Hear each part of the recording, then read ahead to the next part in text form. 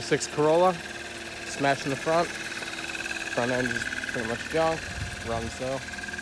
Passenger side front door is good. Rear door is good.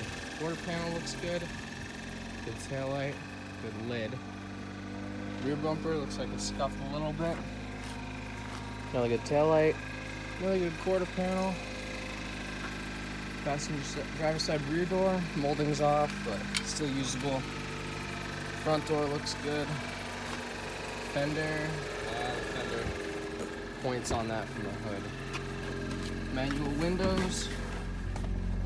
116,000 miles.